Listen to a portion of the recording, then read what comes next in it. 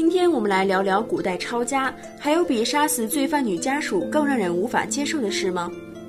中国有着几千年的封建社会思想，不管是在哪一个朝代，都有着男尊女卑的状况。很多富贵人家几乎都是三妻四妾，皇帝后宫佳丽几千，不管在哪一个朝代都是非常正常。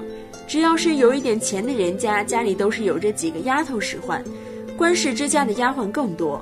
整个家族大大小小有着几百号人物，皇帝乃是一个国家的最高统治者，只要想让一个人死，根本就不会让你活到明天。很多家族因为权力的关系惹怒到皇帝，导致整个家族受罪。这些女人将会怎样处理呢？她们的未来生活将会是怎么样的？古代株连九族虽然有出现过，但是正常的抄家基本都不会株连九族，除非这个主人犯下不可饶恕的罪行，谋反。卖国，正常的罪行基本都是处决当事人，因为这样不会涉及名分。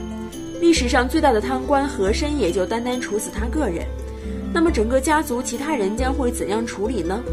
古代官员的处理正常有以下几种方法：第一种乃是将整个家族全部都流放，押送到边疆遥远的地方，这个地方基本都是渺无人烟，条件非常差，基本都是很难生存下去。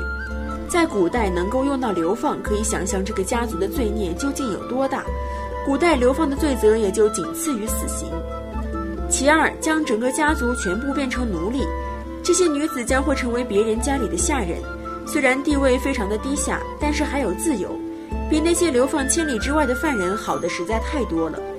虽然最终都是过着奴隶般的生活，但是只要有还可以活命的机会，未来还是有一线希望的。第三种。这种惩罚好像有点过分，将这些女子全部都送往民间的妓院。还有一种乃是送到官府直属的妓院。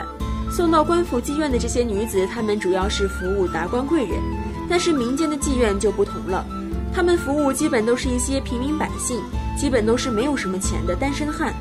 一旦进入这个地方，人的性命堪比草芥，就算死去也没有任何人会同情他们，因为他们本身就没有任何地位。